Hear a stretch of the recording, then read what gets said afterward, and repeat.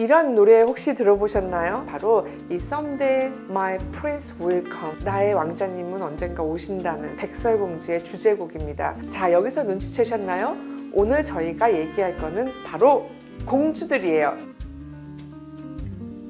1937년도에 백설공주가 월트 디즈니에서 나왔을 때만 해도 아 그거 어떻게 되겠어 또 했었던 거죠 하지만 우리의 월트 디즈니 선생님께서는 간파하신 거죠 아 이것은 된다 해서 나온 백설공주는 지금까지도 그 백설공주라는 이름 하나만의 위력으로 여태까지 파워풀하게 존재해 왔어요 백설공주는 어렸을 때부터 참 대명사죠 고유명사와 같은 예쁘다 얼굴이 하얗다는 샤넬과도 같은 존재인가 봐요. 공주계에 있어서는. 그래서 제가 그렇게 좋아하지는 않아요.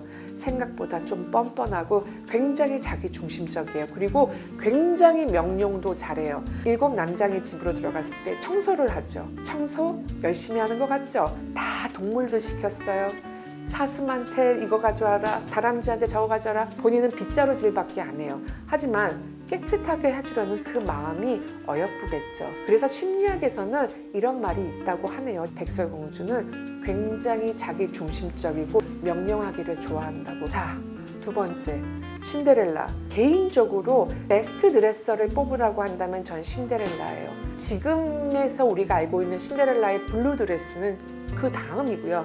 오리지널 원본은 하얀색 드레스의 블랙 초커예요. 멋있죠? 신데렐라의 경우에도 집안일을 많이 했죠. 일곱 난장이의 집이 한 17평, 20평 정도 된다고 한다면 복층이었어요. 신데렐라는 건평이 한 200평 되고 대지가 300평 정도 될 것 같아요. 그 집을 혼자 다 청소했잖아요. 그것도 언니들 밥도 다 해줬어야 됐고 그래서 백설공주보단 조금 더 능동적으로 움직이긴 했어요. 신데렐라의 또 키워드는 키포인트는 또 신발이었던 관계로 페라가모가 신데렐라 구두를 만들어줘서 그걸로 Ever After라는 영화를 만들기도 했죠. 1959년도로 넘어가게 되면 바로 오로라예요. 요정들이 주는 후천적 아름다움을 가지고 정말 아름다운 공주를 지내다가 16이 될 때 배틀에 찔려서 잠에 빠져들게 돼요. 계속 자다가 왕자님의 키스를 받고 일어난 오로라 공주가 그렇게 탐탁지는 않네요. 그래서 사실은 제일 수동적이고 제일 이야기거리가 짧은 그래서 어쩔 수 없이 말레피센트가 저렇게 안젤리나 졸리로 재해석돼서 다시 영화화되기도 됐나 싶기도 합니다. 오늘 제가 입은 거는 아리엘이에요. 저는 아리엘을 제일 애틋하게 생각해요. 어떤 여자가 물거품이 될 걸 알고 사랑을 시작하겠어. 난 그런 사랑 할 수 없어. 그래? 그럼 내가 인어공주가 돼줄게. 시크릿 가든에서 바로 했던 길라임과 김주원의 대사예요.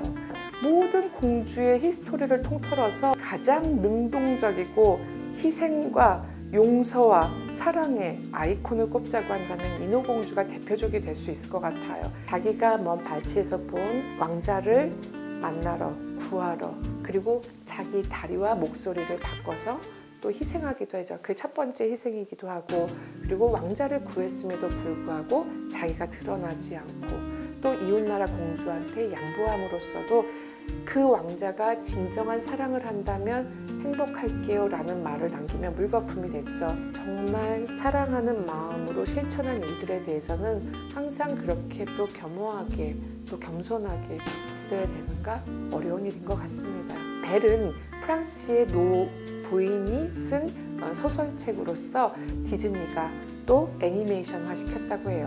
가장 진취적이고 가장 능동적이었던 존재가 아니었나 싶어요. 그리고 유일하게 공주가 아닌 존재였습니다. 평민 계급이 왕자를 구하러 간다는 설정도 저는 매우 좋았고요.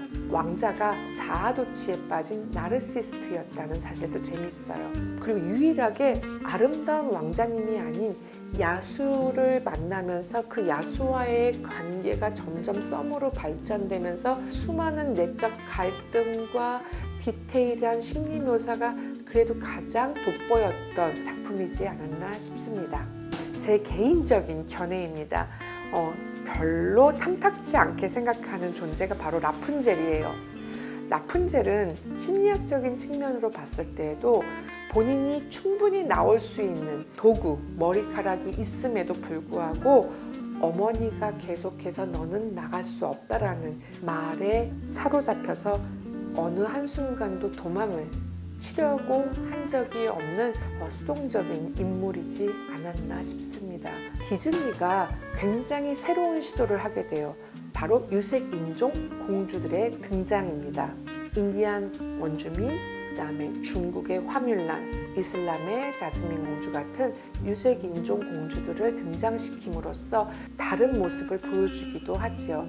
여러분들한테 제가 말씀드리고 싶은 건 언제 어디서든 아무리 힘든 상황 속에서도 자기를 아름답게 가꾸길 바래요.